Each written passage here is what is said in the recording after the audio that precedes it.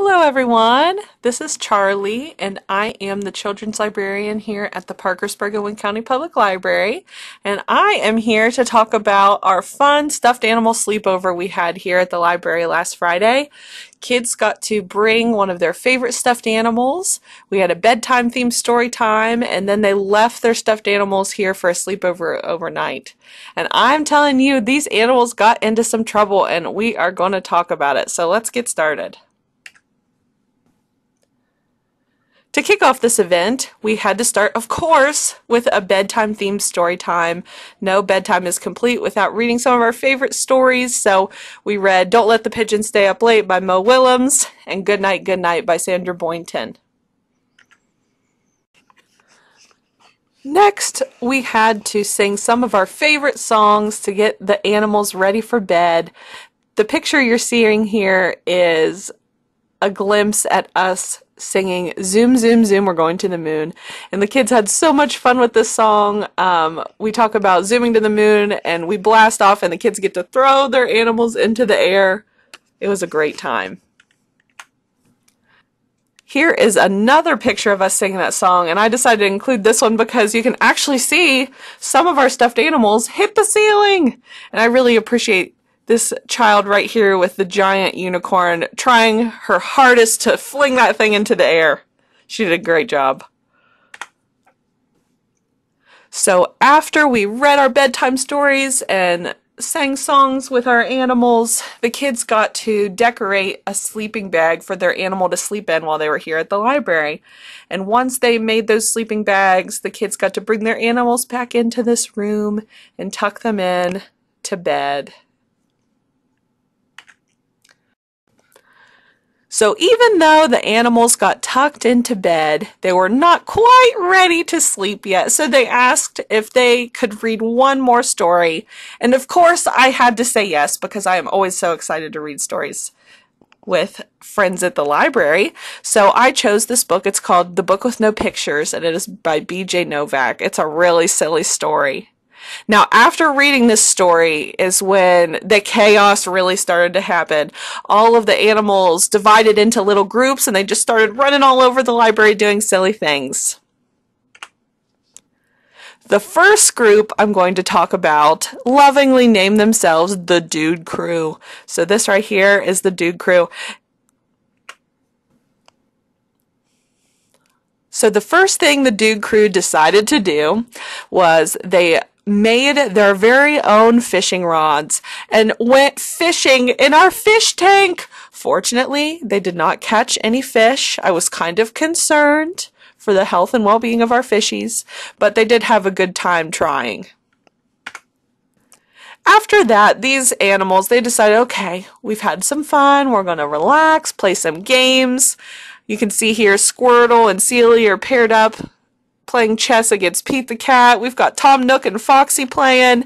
And then here in the bottom, we had a pretty crazy checkers game going on between these Sonic characters here. They got so irritated at one point, they flipped the board. It was a very, very intense game.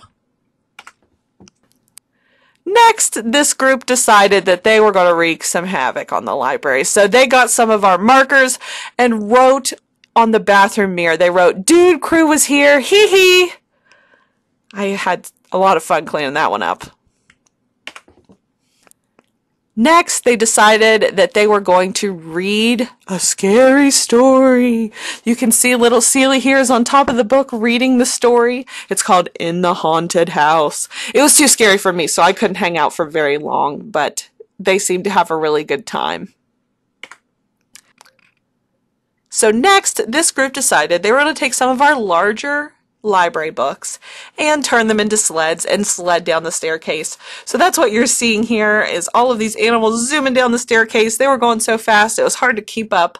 We actually even had one little buddy, this Sonic guy right here, that fell off of his sled, but he was okay. He got back up and kept sledding down the steps. And then the last thing that they did was they got stuck in the Lego case. They were trying to get in here to mess with the kids' creations they had made, and the lid was so heavy it fell down on them. And I'm telling you, I was tempted for a second to leave them in there because they had just been going crazy all over the library, but I was nice and I decided to let them out so they could have more fun. Now, the next group that we had named themselves the Pink Patrol. They went with this name because, as you can see, most of these animals here had pink on them. Now, our dinosaur friend, he didn't have any pink, but when they took a vote, he was outnumbered. He ended up being okay with the name, though. All right, so the first thing that the Pink Patrol decided to do was to build a book fort. I was actually quite impressed with their building skills. This fort was so structurally sound that some of the animals could actually climb on top of it. See a little piggy clear on top there? Now, we did have a little bit of a snag. Our large horn unicorn here actually got stuck under the bookshelf. You can kind of see in the top left that picture. So I had to yank and pull her out because she kind of got stuck. This group then decided that they were going to play a fun game of hide and seek. You can see Large Horn here counting, and then all of the other animals peeking out from around the bookshelves, hiding behind books. It was a very fun game. Next, they decided to find our fridge, the staff fridge.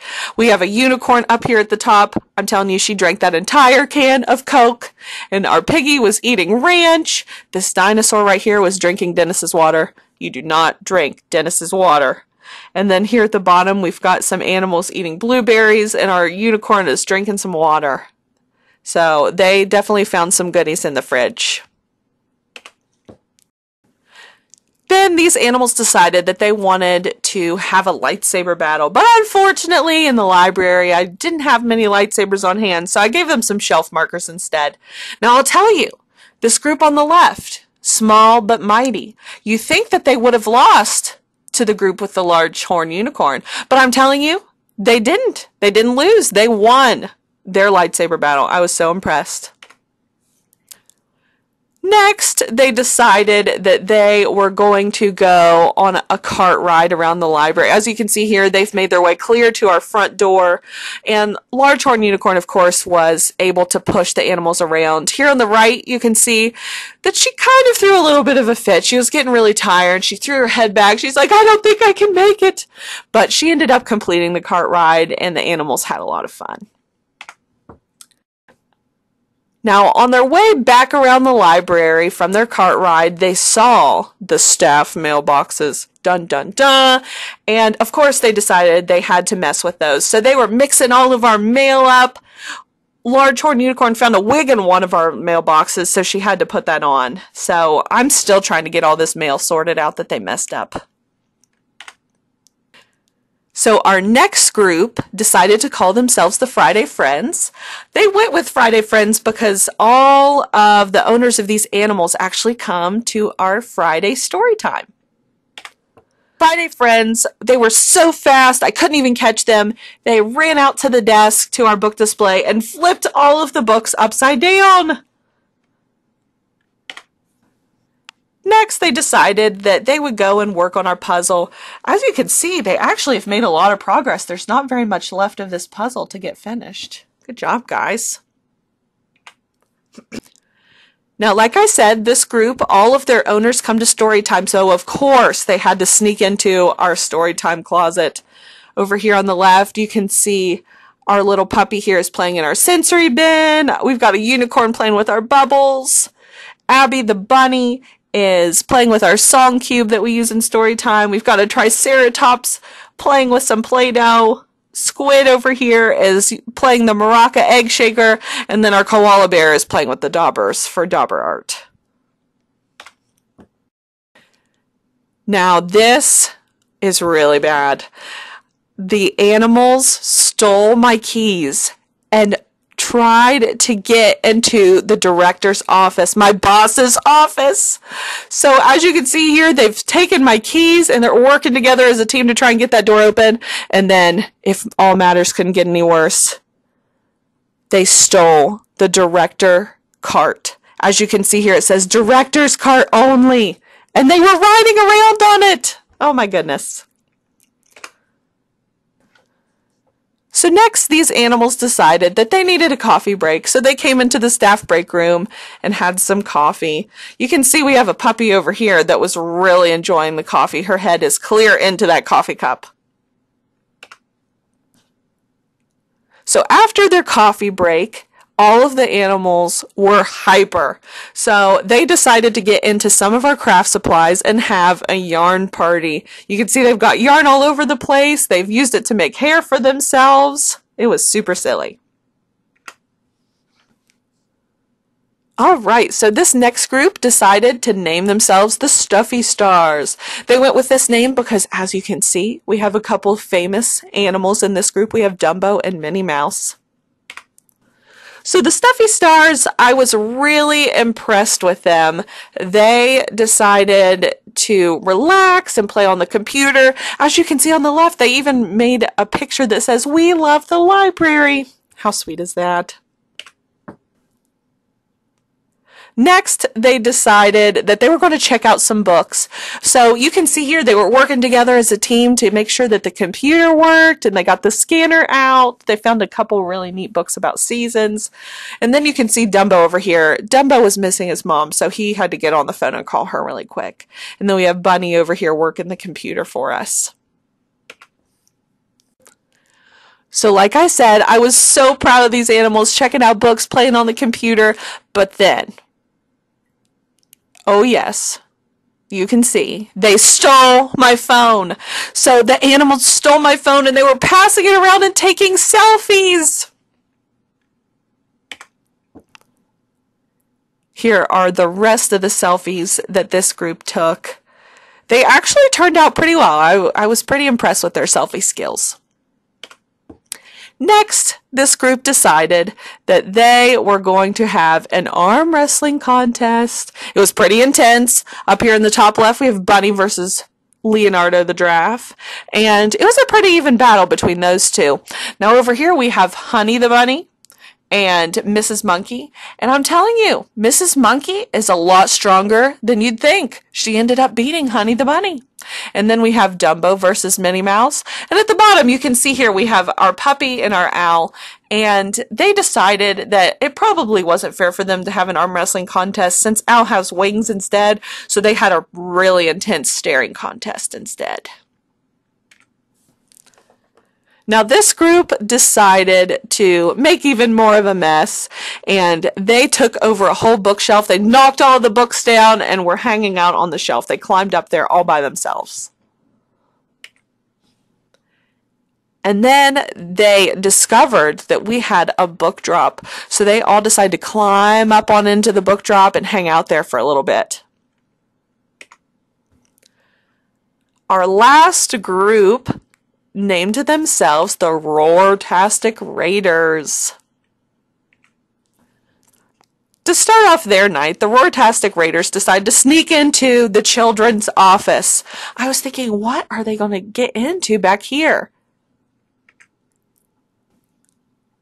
What they found in the office was actually they found a kiddie pool, some different balls, so they literally made their own ball pit. I thought this was such a fun idea. After that, they decided that they were going to draw and color together. As you can see, they are quite the artists. We have some flowers, we have some rainbows, hearts, smiley faces, suns. They did a great job coloring. Oh my goodness, here it is. So this group, after coloring, decided that they were going to trash the bathroom. I know. The two animals up on the baby changing table, they were the leaders of the pack here given directions and orders to the others down below. And they had toilet paper and paper towels all over the place. They TP'd the bathroom. And then, the worst of all, I am so embarrassed to even show you this. These animals caught me while I was taking a little snooze. I was so tired, I just thought I'd shut my eyes for a couple minutes. And what do you know? They give me a mustache and a unibrow. Oh my goodness. After that, all of the animals had had so much fun, they decided to work together and take over the bookmobile. That's right, the bookmobile, which is our bus that has a library on the inside. Let's take a look. So, of course, we needed someone to actually drive the bookmobile. And um, fortunately for this group of stuffed animals, there was only one animal that could actually reach the gas pedal. That is Longhorn here. She is currently in this picture getting ready to back out of the garage. So now we're going to take a look at what the animals were doing inside the bookmobile. As you can see on the left here, we have little Tom Nook sneaking into the money drawer. That is something Tom Nook would do for sure.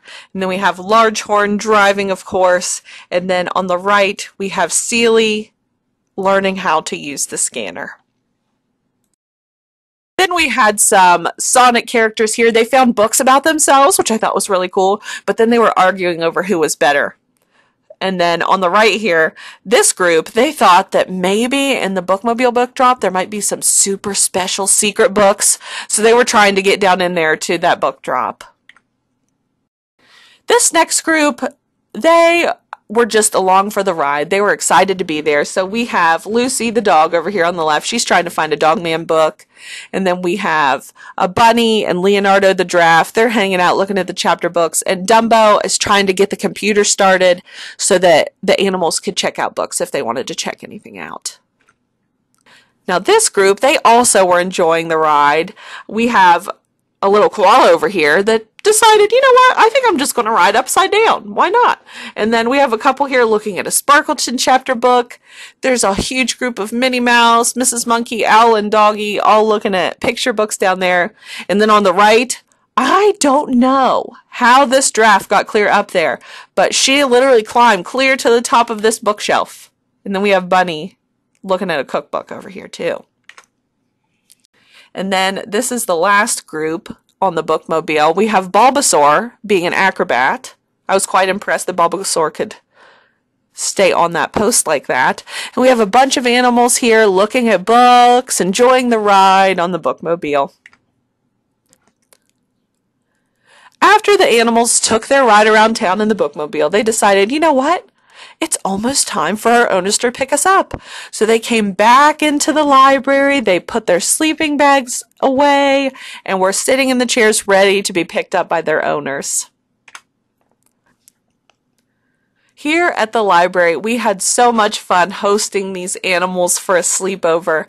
After spending the entire night looking at books, playing together, these animals went home excited to read even more with their owners. So we'll look forward to seeing their owners coming back here to get books to read with their stuffed animal friends for sure. Thank you so much for watching. And as always, thanks for visiting your library.